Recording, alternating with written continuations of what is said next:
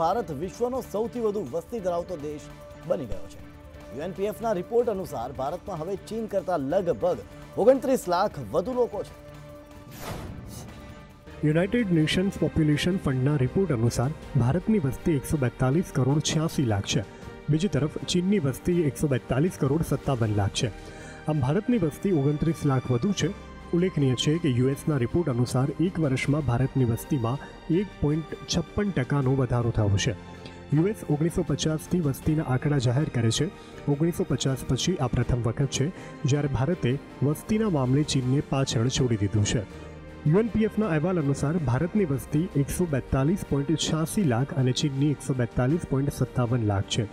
વયજૂથ પ્રમાણે ભારતની વસ્તી પર નજર કરીએ તો ઝીરોથી ચૌદ વર્ષના બાળકોની વસ્તી પચીસ ટકા છે.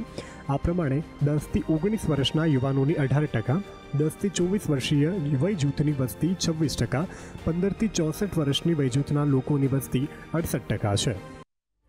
અતિક હત્યાકાંડને લઈને મોટી કાર્યવાહી કરાઈ છે. પાંચ પોલીસ કર્મીઓ સસ્પેન્ડ કર્યા તો બીજી તરફ અતિકના હત્યારાઓને પ્રયાગરાજ કોર્ટમાં રજૂ કરાયા છે.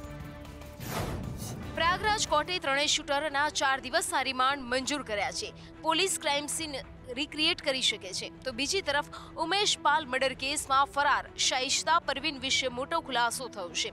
પોલીસ સૂત્રોના જણાવ્યા અનુસાર, અતિક અહેમદની પત્ની શાઇસ્તા પરવીન અને બહેન આયેશા નૂરી પ્રયાગરાજમાં છુપાઈ છે. આટલું જ નહીં, આયેશા અને શાઇસ્તાની સાથે અડધો ડઝનથી વધુ મહિલાઓ પણ છે. આ બધા બંને સાથે બુરખો પહેરીને ચાલે છે.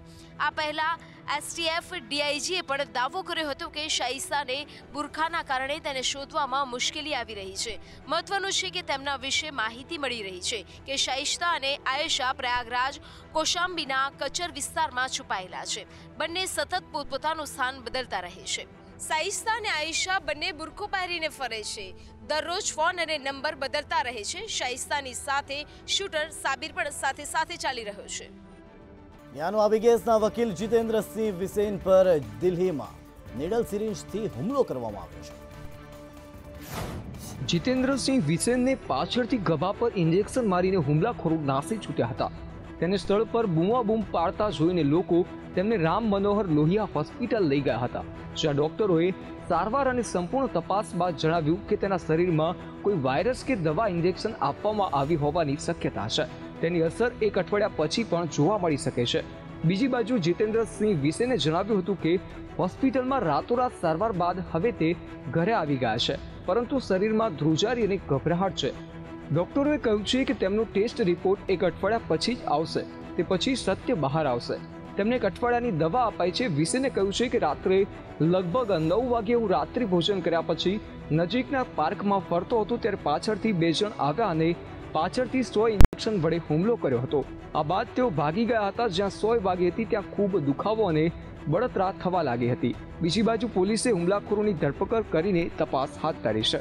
કર્ણાટકમાં દસ મેના રોજ યોજાનારી વિધાનસભાની ચૂંટણી પહેલા રોજ નવા રાજકીય સમીકરણો સામે આવી રહ્યા છે. હવે ભાજપને વધુ એક ઝટકો લાગ્યો છે. ટિકિટની વહેંચણીને લઈને રાજકીય પક્ષોમાં ભારે ઉથલપાથલ ચાલી રહી છે.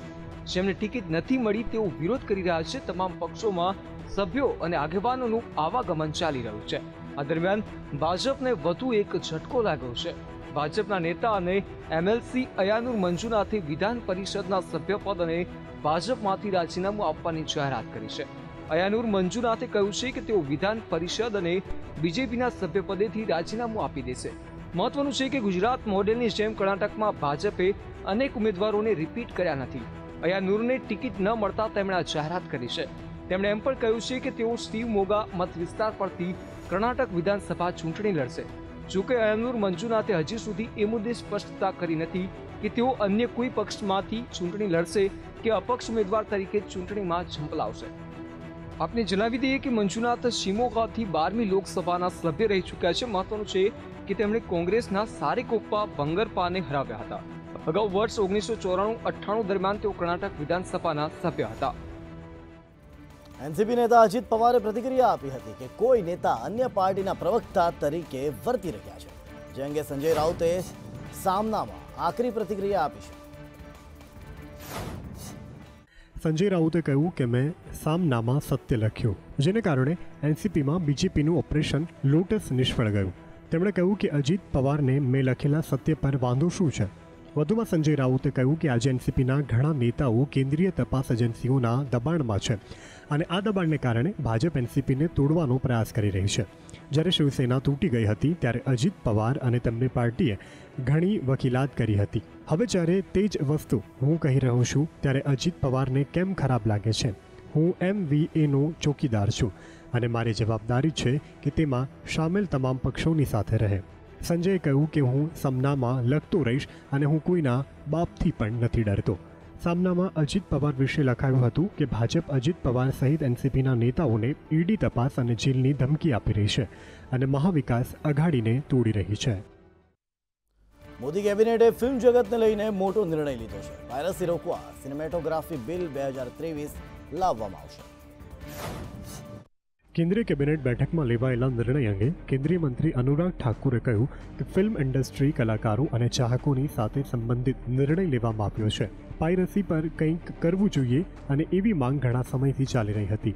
આ સંદર્ભે કેબિનેટે આ મંજૂરી આપી છે અને તેમણે જણાવ્યું કે બે હજાર ઓગણીસમાં પાયરસીને લઈ અને એક બિલ રજૂ કરવામાં આવ્યું હતું અને તેને સંસદની સ્ટેન્ડિંગ કમિટીને મોકલવામાં આવ્યું હતું. આ અંગે સ્થાયી સમિતિએ સૂચનો આપ્યા હતા.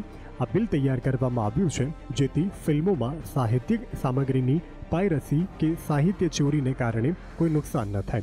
તેનાથી સમગ્ર ફિલ્મ જગતને ફાયદો થશે. આ ઉપરાંત કેબિનેટની બેઠકમાં નેશનલ ક્વોન્ટમ મિશનને પણ મંજૂરી અપાઈ છે. વિજ્ઞાન અને ટેકનોલોજી મંત્રી જીતેન્દ્રસિંહે કહ્યું કે છેલ્લા નવ વર્ષમાં વડાપ્રધાન નરેન્દ્ર મોદીની આગેવાની હેઠળની સરકારે ઘણા ક્રાંતિકારી કાર્યો કર્યા છે અને આ મિશન મોટું પગલું છે. આ ક્ષમતા ધરાવતા દેશોમાં America Canada France Australia Finland અને ચીનનો સમાવેશ થાય છે. ડમી ઉમેદવાર કાંડ મુદ્દે સતત નવા ખુલાસા થઈ રહ્યા છે. યુવરાજસિંહ તબિયતનું કારણ ધરી હાજર ન રહેતા પોલીસે ફરી નોટિસ ફટકારી છે. ડમી ઉમેદવાર કાંડમાં યુવરાજસિંહની સામે આક્ષેપો કરતો વીડિયો વાયરલ થયા બાદ પોલીસે તેમને સમન્સ પાઠવી અને એસઓજી સમક્ષ જવાબ રજૂ કરવા માટે બોલાવ્યા હતા. યુવરાજસિંહે કહ્યું હતું કે કાયદો મને પણ લાગુ પડે છે. તેમણે કહ્યું કે પોલીસના સવાલોના જવાબ આપીશ અને અન્ય લોકો સંડોવાયેલા છે, તેની માહિતી પણ આપીશ. બહુ મોટા અને ભયાનક સ્કેમની માહિતી ઉપર કામ પણ કરી રહ્યો છું. દરમિયાનમાં આજે તેમના પત્નીએ યુવરાજસિંહને ડિહાઇડ્રેશન થયું હોવાનું જણાવતું એક ટ્વીટ કર્યું હતું. તેમણે એસઓજીને મેલ કરી અને દસ દિવસનો સમય માગ્યો હતો. સાથે જ તેમણે તપાસમાં સહયોગ કરવાની ખાતરી આપી. બીજી બાજુ ભાવનગર પોલીસે યુવરાજસિંહને ફરી એકવાર નોટિસ પાઠવી છે.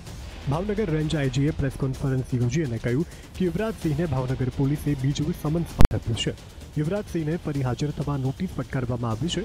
પોલીસે એકવીસ એપ્રિલ બપોરે બાર વાગ્યા સુધીનો સમય આપ્યો છે. ભાવનગર પોલીસ તરફથી તેમને પરમ દિવસે એકવીસમી તારીખે બપોરે બાર વાગે ફરીથી એસઓજીની ઓફિસે હાજર રહેવા માટે સમન્સ આપવામાં આવેલ દેશમાં ફરી એકવાર કોરોનાનો દૈનિક આંકડો દસ હજારને પાર થયો છે. ચોવીસ કલાકમાં દેશમાં દસ હજાર પાંચસો બેતાળીસ નવા કેસો નોંધાયા છે. દેશમાં સતત વધી રહેલા કોરોનાના આંકડા હવે ડરાવી રહ્યા છે. દૈનિક કોરોનાના આંકડા હવે ફરી દસ હજારને પાર આવતા કેન્દ્ર અને રાજ્ય સરકાર સતર્ક થઈ ગઈ છે. ગત ચોવીસ કલાકમાં કોરોનાના નવા દસ હજાર પાંચસો બેતાલીસ કેસ નોંધાયા. જ્યારે એક્ટિવ કેસની સંખ્યા ત્રેસઠ હજારને પણ પાર થઈ ગઈ છે. ગઈકાલે દેશમાં કોરોનાના સાત હજાર છસો તેત્રીસ કેસ સામે આવ્યા છે. એટલે કે એક જ દિવસમાં કોરોનાના આંકડા ત્રણ હજાર વધ્યા. દેશમાં એક્ટિવ કેસની સંખ્યા ત્રેસઠ હજાર પાંચસો બાસઠ થઈ ગઈ છે. દેશની રાજધાની દિલ્હીમાં કોરોનાના કેસમાં મોટો ઉછાળો આવ્યો. દિલ્હીમાં એક નવા કેસ નોંધાયા છે, જ્યારે મહારાષ્ટ્રમાં નવસોથી વધુ અને યુપીમાં આઠસોથી વધુ કેસ નોંધાયા છે. દિલ્હી મહારાષ્ટ્ર સિવાય કેરળમાં પણ વધી રહેલા કેસો હવે ચિંતાનો વિષય બન્યા છે. સતત વધી રહેલા કોરોનાના કેસમાં પણ આ વખતે એક રાહતની વાત એ છે કે નિષ્ણાંતોનું કહેવું છે કે કોરોનાનો આ વેરિયન્ટ એટલો ઘાતક નથી, પરંતુ સાવચેત રહેવું જરૂરી છે. ગુજરાતમાં કોરોના ધીરે ધીરે ઘર કરી રહ્યો છે. રાજ્યમાં છેલ્લા ચોવીસ કલાકમાં કોરોનાના નવા ત્રણસો ત્રેવીસ કેસ નોંધાયા છે.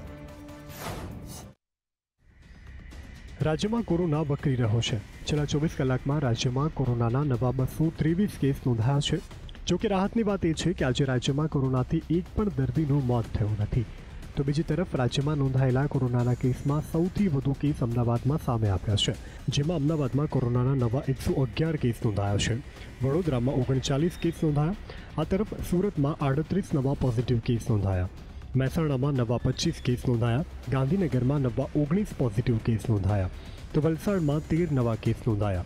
ભરૂચમાં બાર કેસ નોંધાયા. જ્યારે સાબરકાંઠામાં કોરોનાના નવા નવ કેસ અને રાજકોટમાં પણ નવ પોઝિટિવ કેસ નોંધાયા છે. વધતા કોરોનાના કેસોની વચ્ચે રાજ્યમાં કુલ એક્ટિવ કેસની સંખ્યા બે હજાર એકાણું થઈ છે. અને જેમાંથી પાંચ દર્દીઓ વેન્ટિલેટર પર છે, જ્યારે બે હજાર છ્યાસી દર્દીઓ સ્ટેબલ છે. વધતા કેસોને લઈ આને આરોગ્ય વિભાગ પણ હવે એલર્ટ બન્યું છે. રસીકરણ ઝડપી કરવામાં આવી રહ્યું છે. સાથે જ કોરોનાના ટેસ્ટિંગ પણ વધારવામાં આવ્યા છે. હિમાચલ પ્રદેશમાં એપ્રિલના ઉનાળામાં થયેલી હિમવર્ષાને કારણે યાત્રાળુઓ માટે ખાસ ગાઈડલાઈન જારી કરાઈ છે.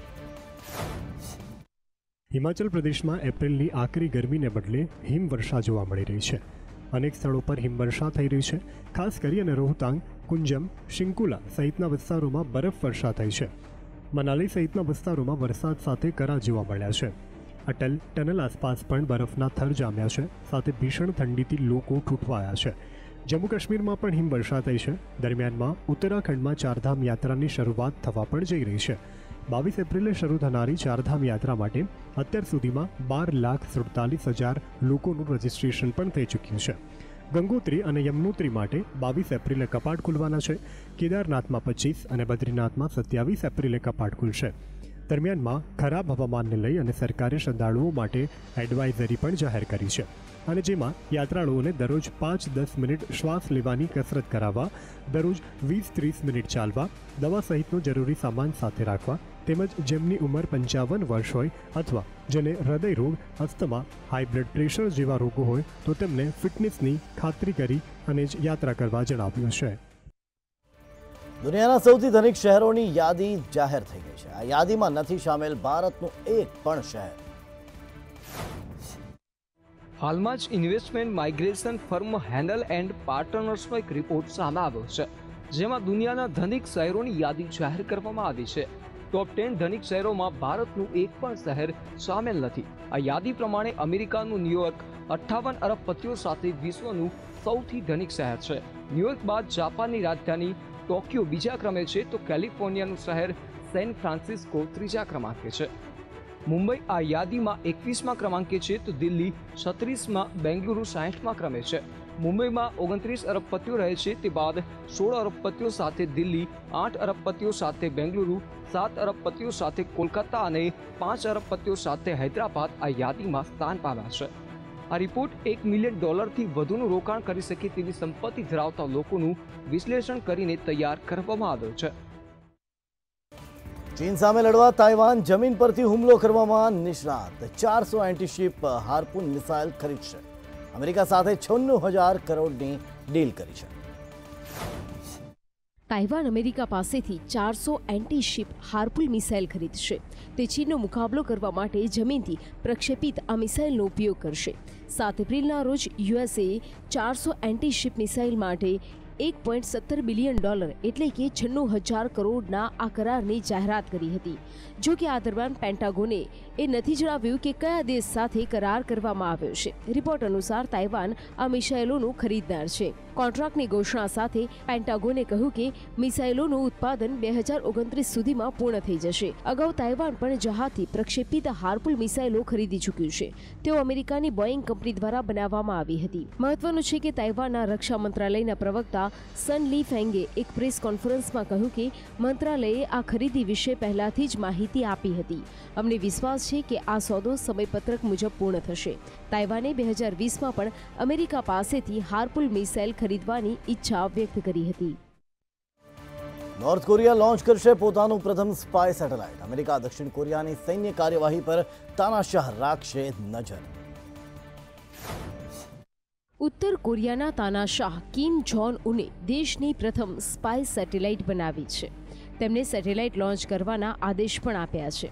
આ સેટેલાઇટ દ્વારા ઉત્તર કોરિયા, અમેરિકા અને દક્ષિણ કોરિયાની સૈન્ય કાર્યવાહી પર નજર રાખશે. ઉત્તર કોરિયાની સત્તાવાર સમાચાર મીડિયા એજન્સી દ્વારા આ વાતની પુષ્ટિ કરવામાં આવી છે.